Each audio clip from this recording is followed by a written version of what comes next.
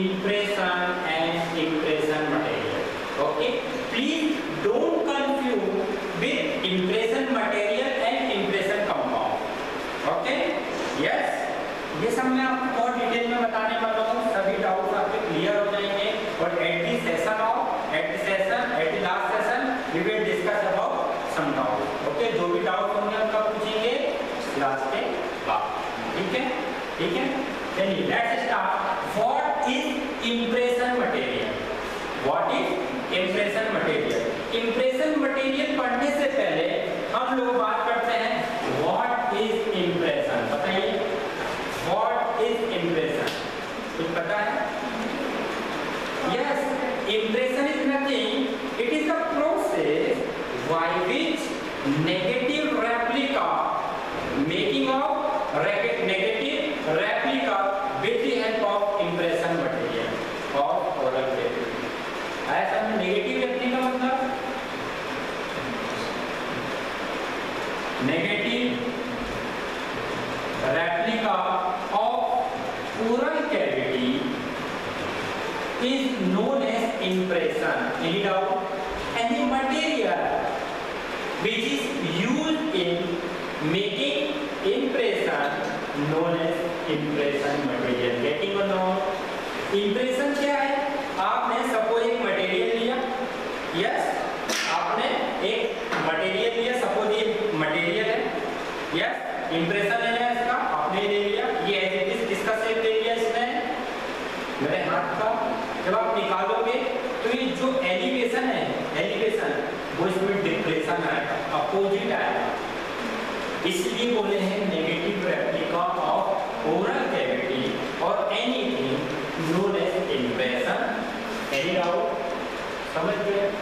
Yes and after pouring after pouring in impression pouring मतलब?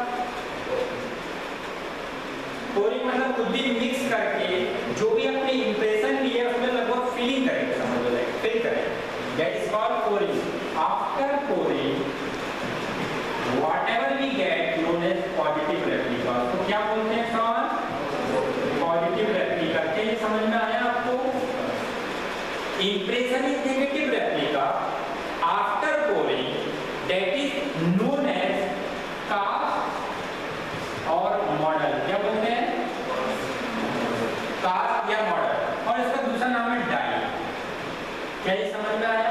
ये सब पॉजिटिव रेप्लिका पॉजिटिव मतलब एज इट इज़ जो भी आपने इंप्रेशन लिया है यस नेगेटिव का फिर नेगेटिव बनेगा तो पॉजिटिव बन जाएगा. आ रहा है क्या समझ में आया? पूछना चाहते हैं यहाँ पे. चलिए, थोड़ा सा डिस्कस करते हैं. व्हाट इज़ कास्ट कास्ट क्या है तो बताएगा आपने से व्हाट इज़ कास्ट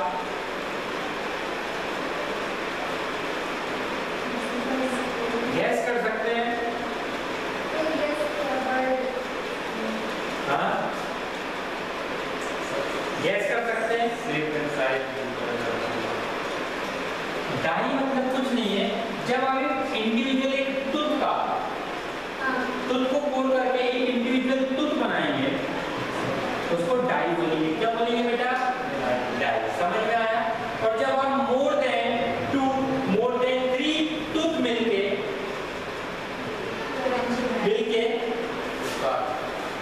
जो भी पॉजिटिव रेप्लिका आपको मिलेगी तो उसको हम बोलेंगे। More number of teeth after pouring more number of teeth बनेगा उसको बोलेंगे कास्ट या मॉडल कितने लोगों को समझ में आया है ना क्या मैं आपको दिखाऊँ क्या क्या होता है टाइप क्या होता है cast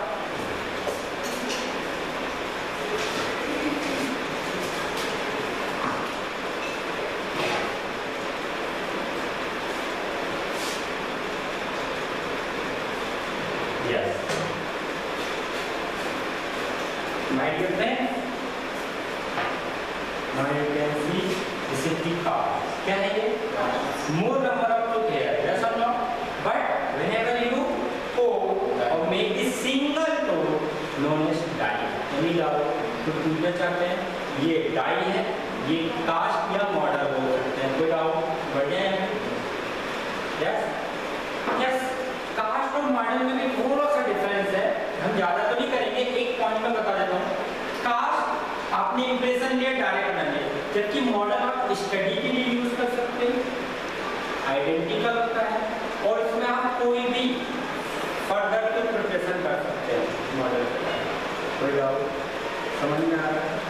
यस आगे हम बाद में इसको फिर से डिस्कस करेंगे यहाँ तक तो पूछना चाहते हैं हाँ कास्ट है जब टीचर भी हम लोग कास्ट ही बोलते हैं जब हमारे पास लोग मिलाते हैं मेन कास्ट उसको भी कास्ट ही बोलते हाँ, उसको ही मॉडल बोलेंगे हैं ये डेंचुलस और इडेंचुलस बोल रहे हैं डेंचुलस मतलब जिस कास्ट में दांत होंगे टूथ होंगे डेंचुलस यदि नहीं है तो भी डेंचुलस पर उसको भी तो कास्ट में बोलते हैं या मॉडल कोई डाउट खैर बढ़ते हैं आगे।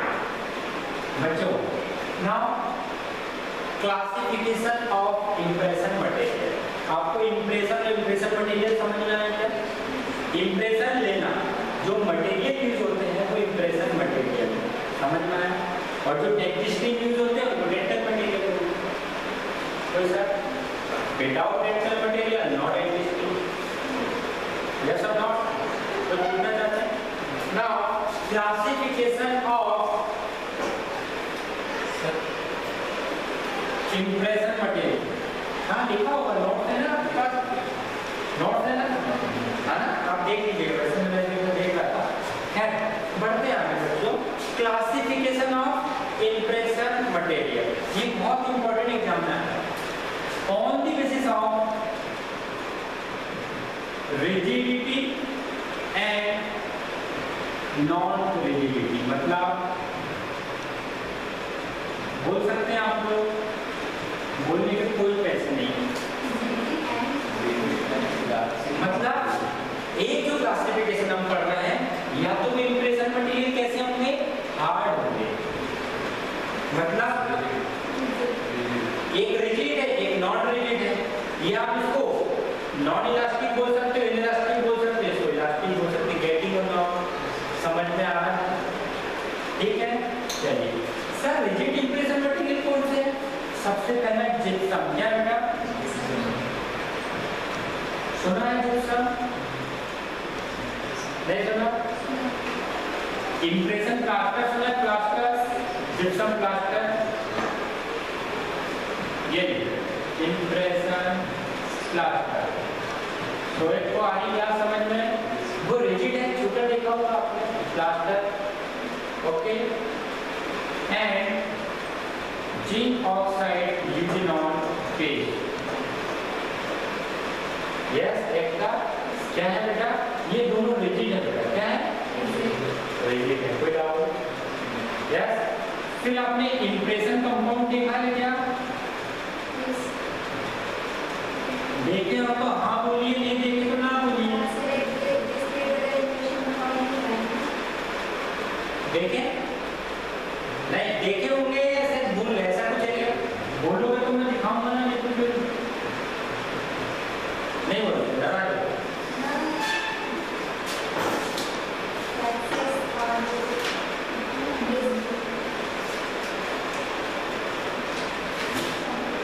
तो मैं दिखाऊँगा आपको यहाँ रखा हुआ यस अरे आप लोगों ने देखा होगा बेटा इंप्रेशन कंपाउंड क्या वो रेड कलर का है तुम पहली बार कॉलेज गए तो रेड कलर का कुछ ऐसा मैं केक दिया हुआ बोला बोला उसको थोड़ के गर्म पानी में डाला हाँ उसको इंप्रेशन कंपाउंड बोलते गेटिंग मतलब बोलते तो मैंने तुमने ऐसा ये भी देखा मैं डर गया था कभी ये भी नहीं देखा इंप्रेशन कंपाउंड ठीक है और एक्सेस एक्सेस तो देखा ही होगा आपने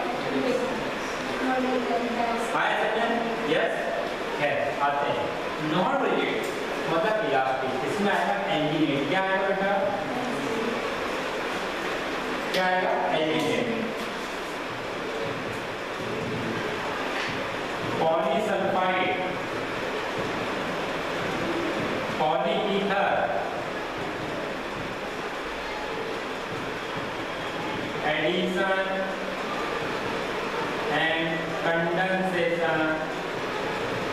silicon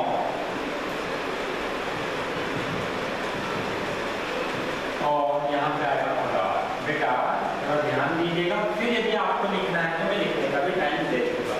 दोनों यस ठीक है ये जो क्लासिफिकेशन है based on rigidity and non rigidity rigid mention here non rigid mention here yes or no this classification again classified on the basis of their multiple use मतलब रिवर्सिबल है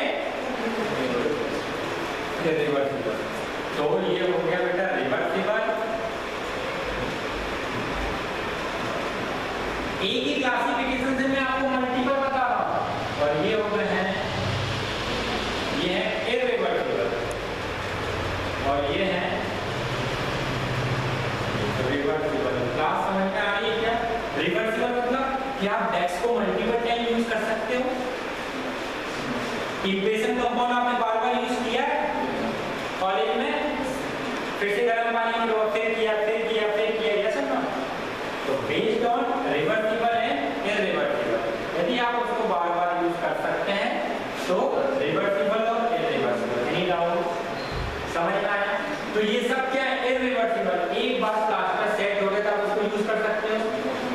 इपॉक्सीडिजिनॉल paste set हो गया use नहीं कर सकते। ये सब भी यूज़ नहीं कर सकते। एक बार एलिमेंट सेट हो गया तो हो गया आ रहा है समझ में आया?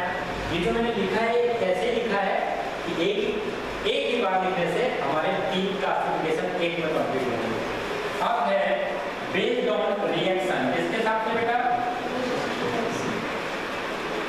ये है बेस्ड ऑन यूजेस इसके हिसाब से रिवर्सिबल और irreversible reaction it is set by chemical reaction ये किससे सेट होते हैं? Set by chemical reaction yes और नो बेटा इंप्रेशन प्लास्टर केमिकल रिएक्शन से सेट होता है? बट ये वैक्सिस और इंप्रेशन कंपाउंड ये थर्मल रिएक्शन से सेट होता है आ रही है क्लास समझ में हवा में जा रहा है लेक्चर ये वैक्सिस गर्म करो मेल्ट हो गए ठंडा करो सॉलिड हो गए समझते ये सब किसका खेल है थर्मल का ये सब किसका खेल है केमिकल का आ रहा है बेटा ये एक ही लिखने से आपके कितने क्लासिफिकेशन कंप्लीट हो गए तीन हुए कि एक ये rigid non rigid based on uses, based on chemical reaction ऐसा not fact reaction yes otherwise आप अलग अलग लिखते तो तीन क्लासिफिकेशन हो जाते कोई डाउट यहाँ तक पूछना चाहते हैं? सोए आपको कोई डाउट यस ये क्लासिफिकेशन आपके एग्ज़ाम में क्वेश्चन कैसे आएगा ओके क्वेश्चन कैसे आएगा? Define impression define impression right you are discuss and classify impression material discuss any one of them impression क्या है नेगेटिव लाइटनेस का मॉडल क्या बेटो फिर क्लासिफिकेशन लिखो और इनमें से किसी एक को डिटेल में लिखो या वो आपको खुद बता सकते हैं discuss in detail impression compound discuss in detail LGA discuss in detail addition silicon discuss in detail waxes any doubt समझ में आ रहा है? ये अभी लिख लो आप। आपके डेंटल मटेरियल में इससे मिनिमम टू और थ्री क्वेश्चन आएँगे। और दो क्वेश्चन लॉन्ग नोट हो गए यहाँ पे। कितने टू क्वेश्चन लॉन्ग नोट कर लॉन्ग नोट समझते हो ना?